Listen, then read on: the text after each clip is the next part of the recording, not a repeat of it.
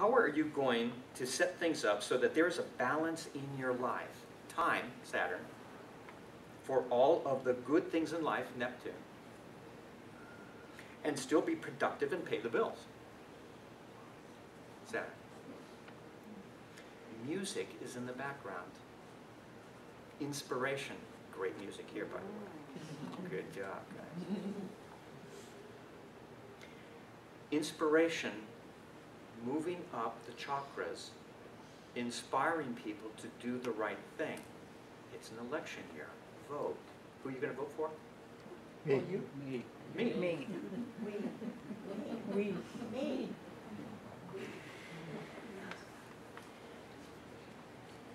You're creating the ambiance and your environment, both in this place here, very good job, and also in your own homes, your gardens, your spaces, your quiet places, your meditation spaces.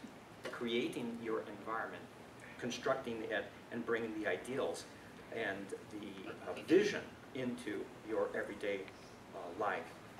Philanthropy, charity, very Neptunian, are very much in the works and aiding when we join together, holding hands in larger projects, that's where we can bring this heaven on earth.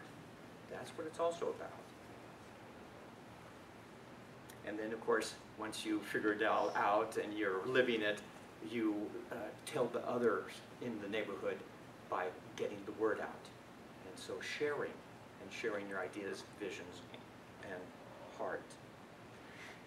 So that'll keep you busy for a couple of months. the planets are one way of looking at times, eras, and epochs, as well as foretelling the future. But we have to watch out for those tricycles, those false prophecies, those interesting things that we might get alarmed about, but mm, don't really have to worry about them. Because we have free will. We have determination, and we have our own dreams, our own inspirations, prayers, and gumption. And then back to the election year, what are our ideals? What are we choosing? You know, our personal platform, our ideals, living by them. Can we create our destiny and fate, even if there's a storm?